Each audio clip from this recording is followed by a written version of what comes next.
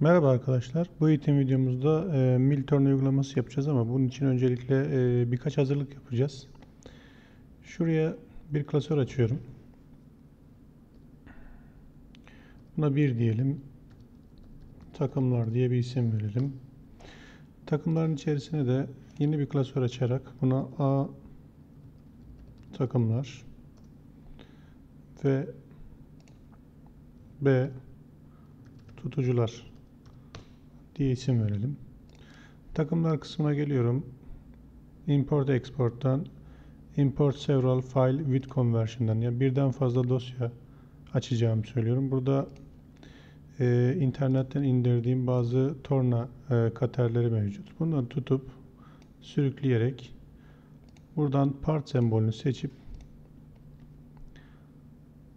takımlar klasörüne 11 tane tutucumu attım gördüğünüz gibi arkadaşlar.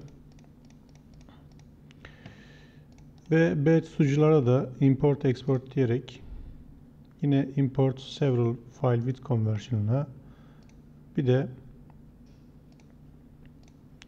bu katerler tutacak aparatları da yine internetten indirdim ve bunları da B tutucular klasörüne şu şekilde tanımladık arkadaşlar. Videomuz part part de devam edecek. Videomuzu burada sonlandırıyorum.